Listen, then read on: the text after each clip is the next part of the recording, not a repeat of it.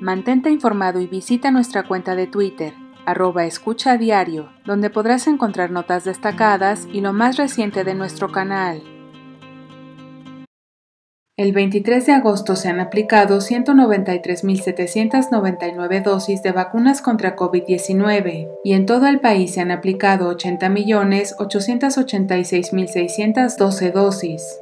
56.409.551 personas han recibido al menos una dosis contra COVID-19 de las cuales 55%, que representa 30.991.824, cuentan con esquema completo y 45%, que equivale a 25.417.727 personas, han recibido una dosis. La Ciudad de México, Quintana Roo, Sinaloa, Baja California y Querétaro alcanzan coberturas de vacunación de 80 a 92%. Zacatecas, Baja California Sur, Chihuahua, Colima, Aguascalientes, Nayarit, Hidalgo, Yucatán, Sonora y San Luis Potosí reportan cobertura de 70 a 79%.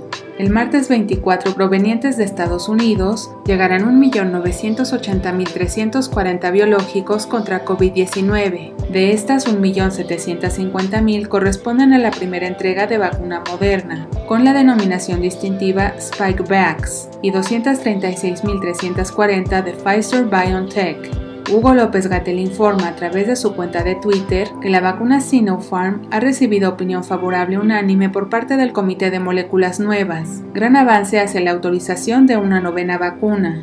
Esto representa el paso previo a la autorización para uso de emergencia de una vacuna. Recuerda, no hay que bajar la guardia. La pandemia sigue activa y es necesario seguir las medidas sanitarias, hacer uso correcto del cubrebocas, realizar el lavado de manos y guardar la sana distancia. Seguiremos informando. Ya estás informado. No olvides darle like a este video, comparte y suscríbete a Escucha Diario.